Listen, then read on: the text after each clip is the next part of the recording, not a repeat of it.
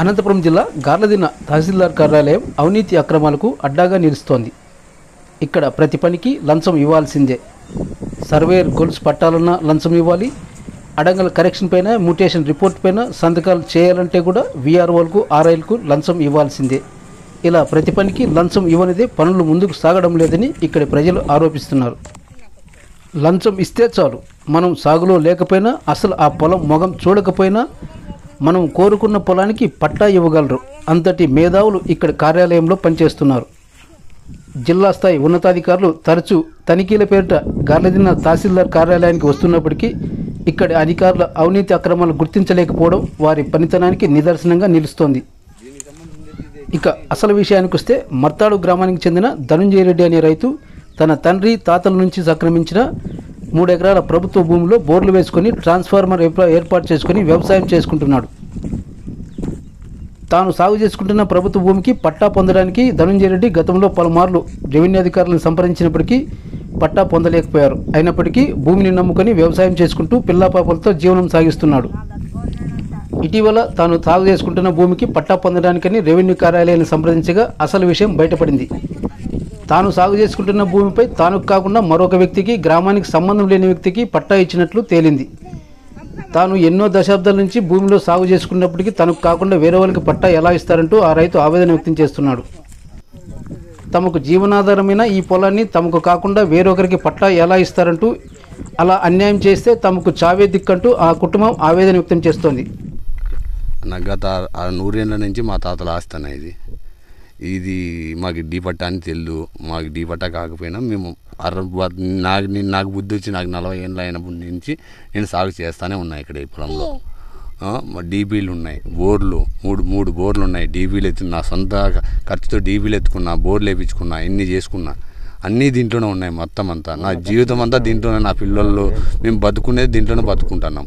ఇప్పుడు ఉన్నట్లుండి మన జనవరి పదిహేడు తేదీ ఈ ఎంఆర్ఓను విఆర్ఓ కలిసి వేరే వాళ్ళ పేరు మీద అన్నామతి ఊరికి దొంగతనంగా డబ్బులు తినే చేసినారు ఇది. తిని అదే నేను విఆర్ఓ నేను ఏమడిగినా మేడం నేను ఇట్లా పట్టా తెచ్చుకుంటాను. నాకు భూమి ఉంది. నాకు ఇమ్మంటే మేడం విఆర్ఓ మేడం ఏమనింది? నువ్వు సర్వేర్ని పిలుచుకొచ్చి కొలతలు వేయించుకొని అది మెజర్మెంట్ తీసుకొని నా దగ్గరికి రా అని చెప్పింది. అదే ఇప్పుడు చేసి చేసి ఇచ్చినారు వేరే వాళ్ళకి. ఎనుగొడ్ల చిదంబరెడ్డి వాళ్ళ బామర్ది కొడుకు చేసి ఇచ్చినాడు. అతనికి వాళ్ళు చేయించినప్పుడు వాళ్ళు కూడా రావాలి కదా. ప్రతి ఎవరికైనా చేసిండే ఏ ఎంఆర్ఓ ఒక విలేజ్ కన్నాక ఒక హెడ్ ఉంటాడు విఆర్ఓ ఉంటుంది. ఆమె వచ్చి ఎంక్వైరీ చేసుకోవాలి ప్రతి పొలంలోనూ. ఇప్పుడు పెడుతున్నారు చేసిస్తున్నారు వేరే వాళ్ళకి. ఈ పొలంలో ఏముంది ఎవరున్నారు అనేది లేకుండా అనామతికి ఎక్కిస్తారు? అదే ఎక్కించేటప్పుడు నాకు ఎక్కిలేదు వాళ్ళు. ఎందుకు ఎక్కిలే నాకు? నేను అడిగినా నేను నా నేను పోయి విఆర్ఓ మేడంని అడిగినా. మేడం నాకు ఎక్కిండి నాకు ఉంది. నా బోర్లు ఉన్నాయి నా మూడు బోర్లు ఉన్నాయి డీపీలు ఉన్నాయి ఇవన్నీ ఉన్నాయి నాకు ఎక్కిమంటే నువ్వు ఇవన్నీ తెచ్చుకోమనింది. ఇదే ఇతనికి ఇప్పుడు ఆ, కడమ తిరుమల రెడ్డికి ఎట్లా ఎక్కించినారు సర్వే చేయాలా? సర్వే లేదు. ఇరవై నాలుగు గంటలు మేము ఈడే ఉన్నాం. ఏ రోజు సర్వేకి రాలే వాళ్ళ మొగాళ్ళు కూడా నేను తిరుమల రెడ్డి అనే మగం చూడలే. ఇట్లా అనామతికి ఎక్కించుకుంటూ పోతే ఈ గవర్నమెంటేనా ఇట్లా చేసేది. అంటే బీదా సాదా బతికేకి అసలు ఉండదా? మీరు ఇన్నేళ్ళ నుంచి ఇక్కడ సాగులో ఉన్నామంటున్నారు కదా.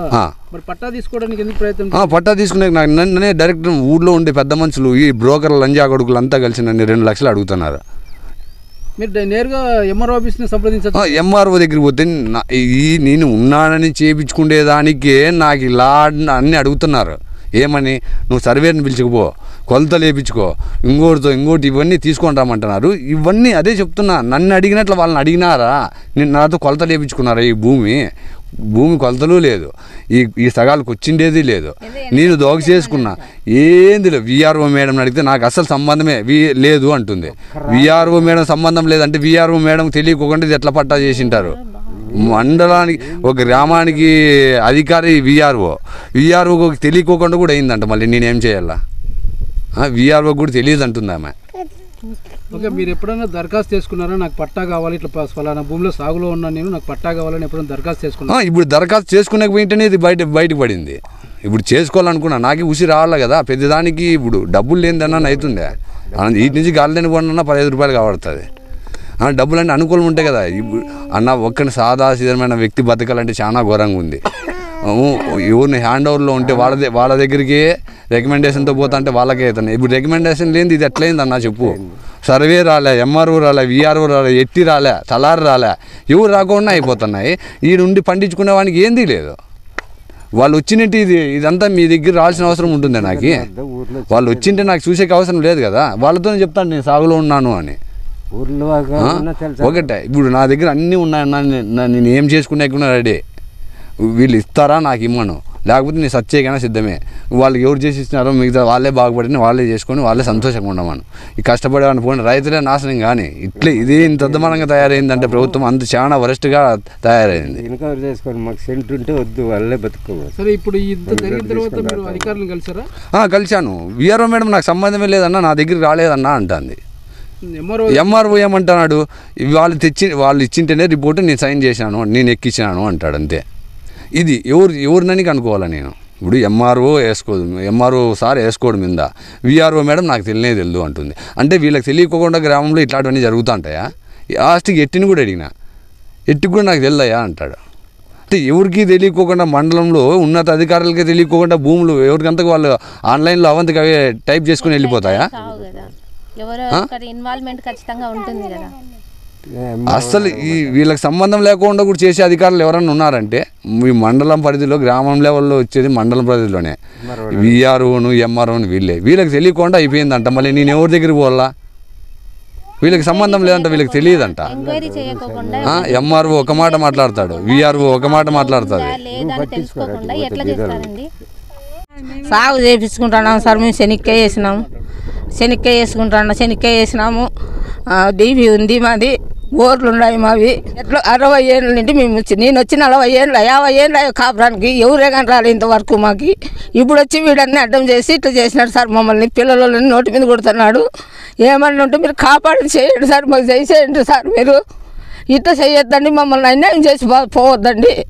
అన్యాయం చేస్తున్నారు మమ్మల్ని. డీబీ ఉంది బోర్లు ఉన్నాయి మూడు. కొట్టం ఉంది సంసారం వండుకొని కూడా ఈడ తింటున్నాం సార్ మేము. సూత్రాండి సార్ మీరే వచ్చి ఇన్కోర్ చేయండి మీరు. మేమేం వద్దనము.